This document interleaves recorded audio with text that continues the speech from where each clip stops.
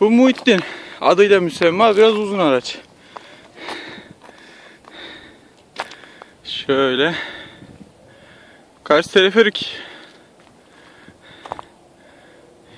Şu anda teleferikten bile yükseğiz şu an. Evet. Bir... Direkleriyle aynı hizadayız. O Karşıyaka, Tuzla.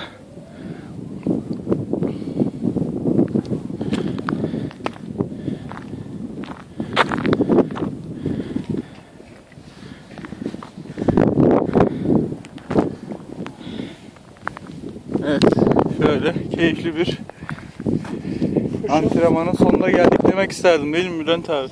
Az kaldı az. kaldı. Ee, Bundan sonra hep iniş.